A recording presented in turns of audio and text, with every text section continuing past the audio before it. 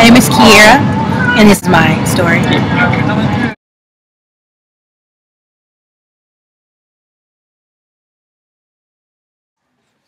My eye conditions are, I have a couple of them.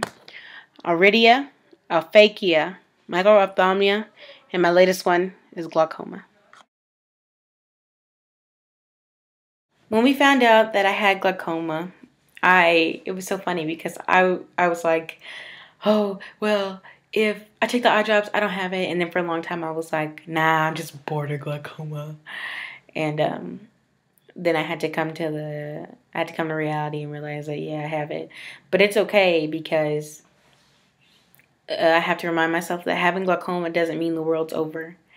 Uh, that it just means that here's a problem and here's a way to solve it. And so I've been solving it, and um, I don't believe in giving up the first try. I believe that uh, that's when you try.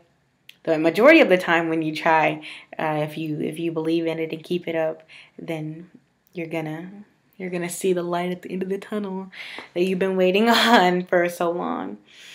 And uh, I'm seeing the light at the end of the tunnel. So.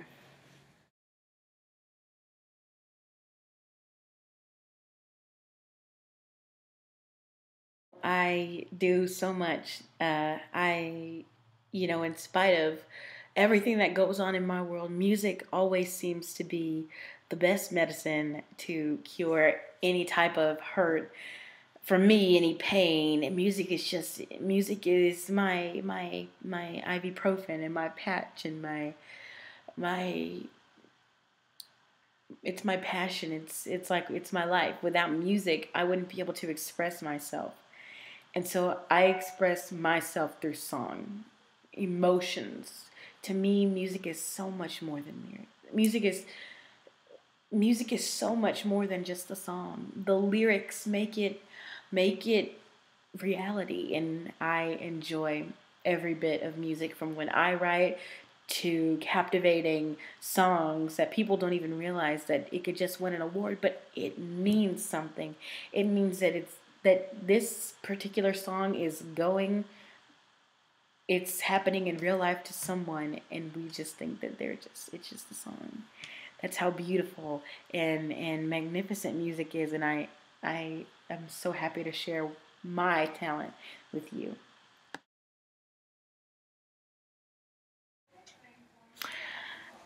From elementary school throughout junior high I was bullied because of my glasses. The way I looked. I was picked on for being fat and for having bubbles on my glasses. I was picked on because I had to sit at the front of the classroom. I had to use big paper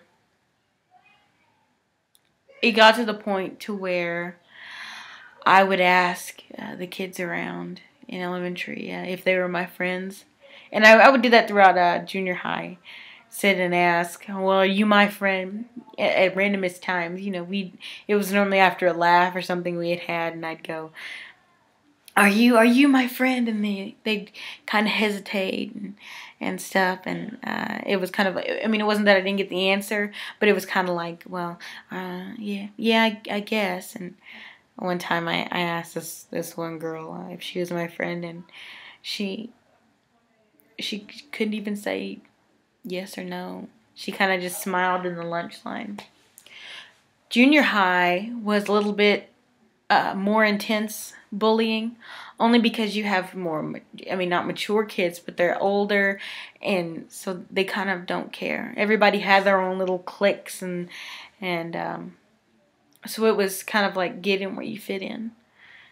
And uh, you know i used to hate to tell people that uh, that i rode the little bus because telling somebody that you rode the little bus they tended would make fun of you and they didn't call it little bus they called it a slow bus. And you did feel like you were slow. I was in remedial math which they would call retarded math. I a rumor had got had, was it started spreading around and this one girl wouldn't be my friend anymore and I just I wanted her to be my friend. I didn't mean to do whatever I had done. And she she hated me. She cussed me out.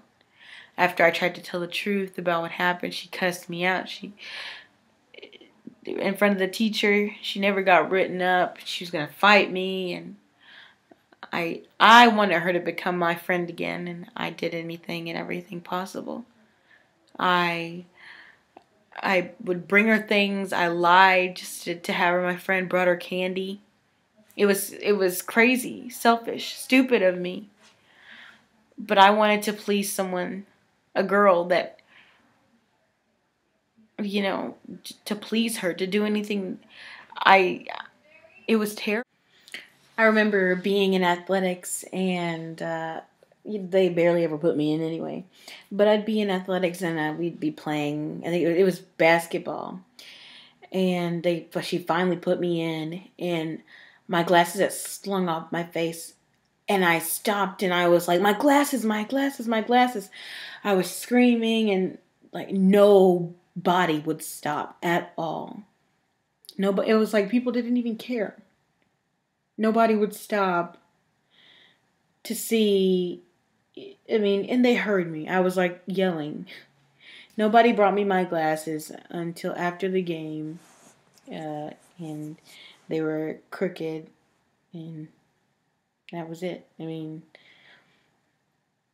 and then, you know, something amazing happened that changed my life like forever.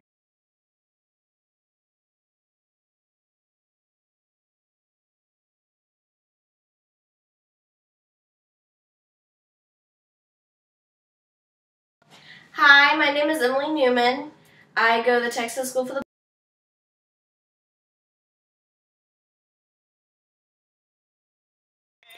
Emily is not like very many friends I've had. she's really not. Um, but she's she's different. She's someone that I can't stay mad at, and she's she's she's beautiful from her voice to her personality.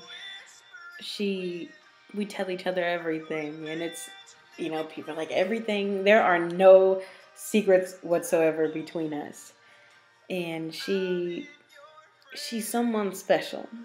Um, I text her. I think it's like, you know, she's not. You know, we text. We text a lot. So she's she's very she's bubbly in her personality, and I love that we can get so connected into a ridiculous topic, and you know, she's it's still fun to her, and it's like her personality is just like remarkable. She you she's so much of what young girls should be. Uh, you know, she there's nothing literally too big or too small for this kid to do. For this kid not to do. She is she's incredible. She is amazing and I am so grateful and thankful to call her my best friend. Um, we have been together for uh, it's going to be three years this year. We've been together. We are best friends. We've been together. Uh, we've known each other for going on three years, and I feel like I've known her forever.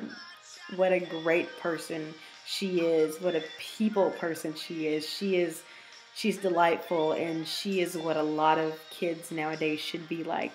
And I'm so honored to call her my friend because I believe that she is just incredible and fantastic and whatever she puts her mind to it, she can do it. She's awesome. She's definitely been a positive impact on my stay here. I've been here three years, and the past two years have been wonderful with having her here.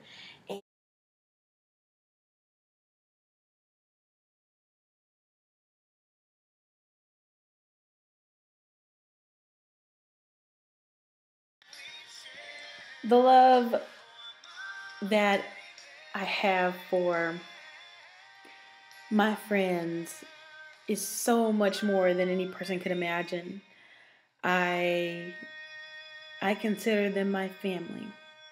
I have a problem with with I get attached to people so quickly and it it begins it gets bad because you're not always going to be by that person that you're close to or that you have that that really good connection with and um but these people these these guys make it worthwhile to be able to be at Texas School for the Blind and Visually Impaired and to feel the way that I do with these guys it's it's unpredictable it's like it's magical I mean of course we do get into arguments and splats and stuff, but that's life. Everybody is going to have a disagreement with their friends every once in a while. It's like that's, you wouldn't be true friends if you didn't. You know what I mean? And I am just so humbly blessed to be able to know these guys and to be able to to get to be able to see them every day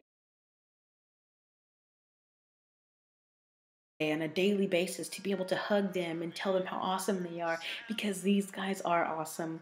And I honestly don't know where I would be if it weren't for TSB. They this place has literally changed my life for the better. I've learned things that I probably wouldn't have learned in my regular school. They changed my life. They brought up my self esteem. They helped me become the beautiful, young, well educated young woman that I am. And I cannot wait to show them when I graduate what I've become, what more I've become. And I couldn't have done it without them, their love and support and their their their positivity toward me. It's it's incredible from the staff to the teachers to the students. I love everybody and I am so attached and they mean the world to me. They literally do.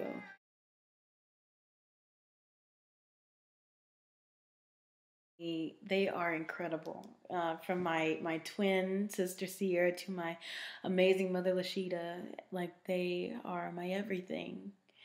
My mother has been through so much with us and she has literally come out a strong human being. She is incredible, remarkable. She is fantastic. I look at my mother and I see a woman who who doesn't give up just because of past mistakes or regrets. My mother is a type of woman who I want to be when I grow up. My mother is she believes that just because she you go through something doesn't mean that has to define you for the rest of your life. We come out so strong. My mother is so supportive even when it comes to me and my music career, even if it me and, and trying to become an artist, she you know, she's always kind of like she's scared for us. But it's a good intention. In her heart her selfless heart is beautiful. She puts others before herself and she she does the best she knows how to and she's an incredible mother and I wouldn't have it any other way. My mother is is awesome. She is a great example of a hardworking individual. My mother gives her all to everything she loves. She gives her all to us and how many parents can say they let their kids go far away, you know, to come live in Austin, you know, and she's just amazing. She's gone above and beyond for us. My mother and my sisters, my twin, are we're incredible together. She is my rock, my better half.